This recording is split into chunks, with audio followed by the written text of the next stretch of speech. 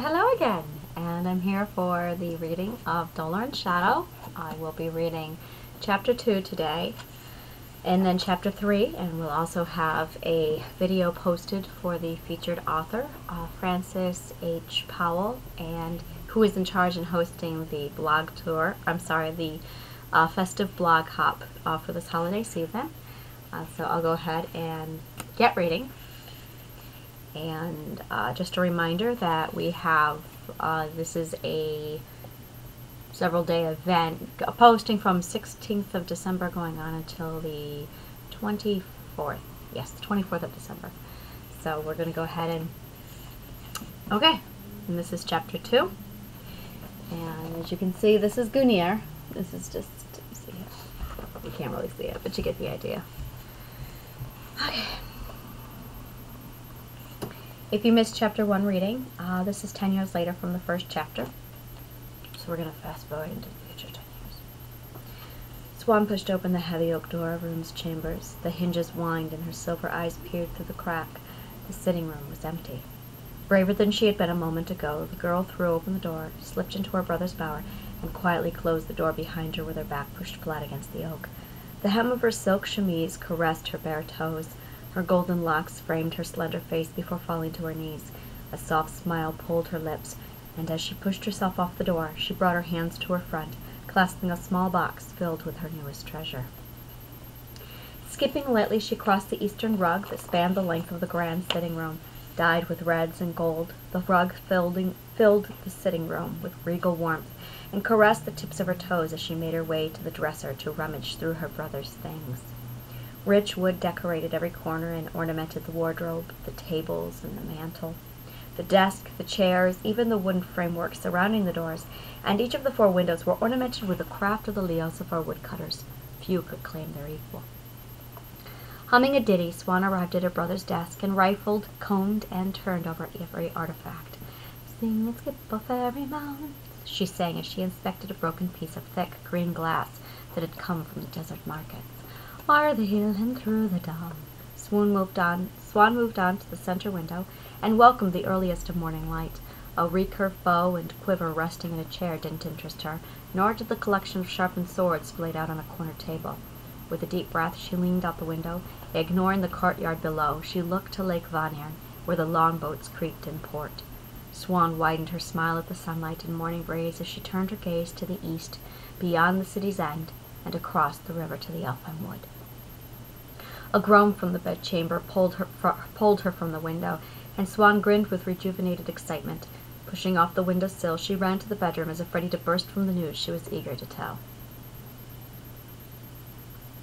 Encumbered with sleep, Rune lay buried beneath a mountain of blankets, furs, and pillows. Rune, Swan sang in sing-song. He knew her voice, but couldn't move to answer. A weight in the dreaming was holding him still. Wake up, she said, but Rune didn't wake. Instead, the voice penetrated his dream and became part of it. Rune, she said as she climbed his body like the steps of Jotunheim and sang, her voice as crisp as fresh fallen snow on ice. Sing and skip a fairy mounds o'er the hill and through the dell, where sleep's joy spins my dream. There the moonlight finds its beam. Clutching her small box, Swan slipped on Rune's hip and caught herself before breaking off into the second verse. Sing and skip a fairy mounds o'er the hill and through the dell, where the rolling brook doth play, o'er the hill and far away. Without hesitation, Swan projected her voice into the morning air that blew in with a breeze through Rune's chamber room, uh, through Rune's chamber window. As Swan climbed and chanted, her locks spilled over the blankets like sunlight. Swan succeeded in perching herself atop Rune and shoved her face so close the tip of her nose grazed his. Rune! she shouted, pulling Rune from his dream. With a howl, Rune pushed a pillow into his sister's face, sending her falling onto her back with the pillow, her box, and her golden tresses. Undaunted, Swan jumped up and slapped the pillow back on Rune, who'd pulled his, his, his blankets over his head. Before he could groan, Swan broke off into another verse. Sing and skip a fairy mounds o'er the hill and through the dell, where the ancient scrolls doth lay. Think of their secrets far away. Rune, Swan said, relinquishing the pillow. What? The furs on Rune's head muffled his voice. Swan grinned. Great, you're awake. Another groan.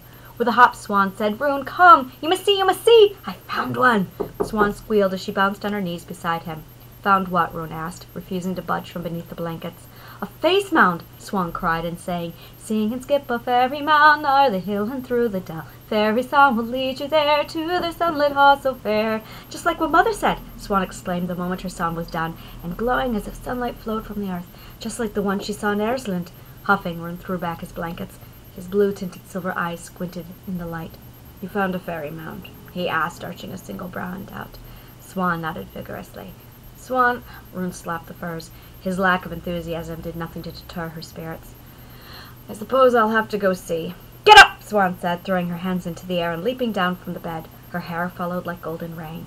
Not right away, Swan. Rune swung his legs over the side of the bed. I have lessons all morning with Gareth, and if I skip them again, he'll have my hide, not to mention the hell I'll get from father. Swan dropped her arms and slouched with the box still tucked away in her hand. But the holiday? Swan said over a puffed bottom lip. It's Astromonath. Not for another few days. The Dokkalfar haven't even arrived yet, Rune scolded, and watched as his sister curled her bottom lip out further. I'll be around later. Swan didn't move. Rune groaned, throwing himself onto his bed and staring at the ceiling. Ugh! When would you like me to be there? he asked. Now! Swan said, making a full recovery from her sulking. Swan, Rune said, and she was on the bed again, holding her face upside down over his with a wide-eyed grin that never waned. Rune batted at one of her locks. Go on ahead, Rune said. Do whatever it is you do in the valley of yours, and I'll meet up with you before the sun is high. Her joviality fell again, but she did her best to hide her disappointment. That's what Berrigan said. Swan sat back on her legs and did her best not to look too upset. Rune crunched his brow. Berrigan's back? With a grin, Swan nodded. When did he get back? Just, she sang, thrilled to know something her brother didn't. Look what he brought me back from Rakkadet, she said, and shoved her precious box into his face. Rune sat up, turned himself around, and flipped up the latch. The hinges creaked. Inside, nestled in red Eastern silk, an egg gleamed in the light. Vibrant yellow circles capped each end, where, line, where lines like sunbursts spilled onto the black base coat. The rays met the peaks of deep blood-red mountains that encircled the egg. Their bases stopped where a wide strip of black enveloped the egg center. There, within the strip of black, a red circle drew Rune's attention. It's a worm. Rune said as he made out an image of a snake, twisted into a signet until it had formed a circle. Two black slits like eyes peered from in between the snake's body.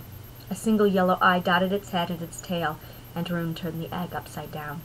With two heads, Rune said, seeing the dotted tail was indeed another head.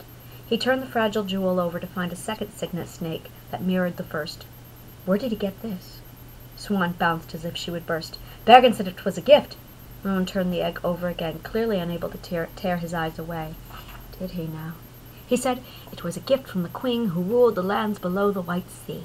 Swan repeated Berrigan's words verbatim, with an air of mysticism, as she stared at the ceiling and thought, then leaned over Rune's shoulder and added in a normal voice, He said it came from a Sclavinian ship. Sclavinian, Rune said. He knew the name too well. Berrigan gave you this. Rune peered up at Swan. All the more reason why you should heed Berrigan's request and go play in the valley. Rune grinned and Swan sighed, taking back her egg with an eye roll that became a head roll. Carefully she returned it to its silk and latched the lid like a treasured secret. You're older, Swan said. I was hoping you would override Berrigan's instructions. Rune smiled. Older by moments. Enough to be heir. Perhaps, Rune said.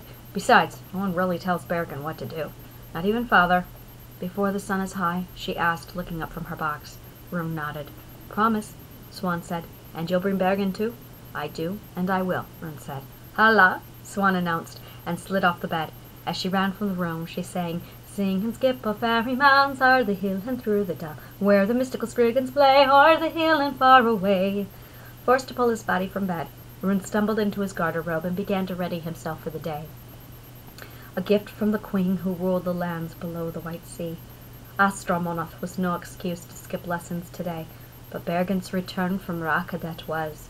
If he hurried, there was time enough to hunt a bear and slip a little something into Berrigan's bed. Thank you again for uh, tuning in. Uh, we have uh, YouTube. Please go ahead and subscribe, and also subscribe to the website if you're interested in receiving more updates and book readings like this. Thank you again very much.